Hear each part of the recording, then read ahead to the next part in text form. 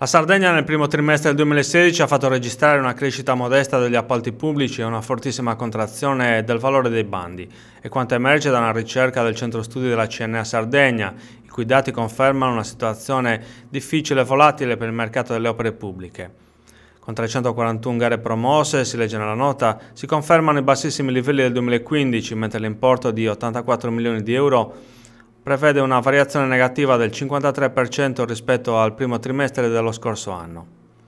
Questa nuova fase di incertezza, sottolineano Francesco Porco e Mauro Zanda, rispettivamente segretario regionale della CNA Sardegna e presidente di CNA Costruzioni, arriva dopo una fase di espansione registrata nel 2015, quando le 1298 gare promosse erano cresciute del 19% rispetto al 2014 e la spesa, pari a 989 milioni, era aumentata del 59%. Ma anche questi dati, sottolineano i dirigenti della CNA, non descrivevano un mercato in buona salute perché arrivavano dopo un 2014 negativo.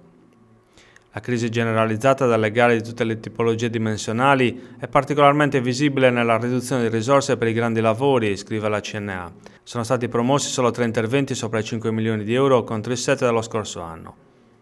In questo primo scorcio del 2016, conclude lo studio della CNA, l'unica tipologia di opere a crescere è quella di microinterventi di importo inferiore ai 150.000 euro, principalmente ad opera dei comuni. Ma anche per questo tipo di appalti il valore delle gare è diminuito del 4%. Questo testimonia la difficoltà generalizzata in termini di risorse che hanno le amministrazioni pubbliche attive in Sardegna.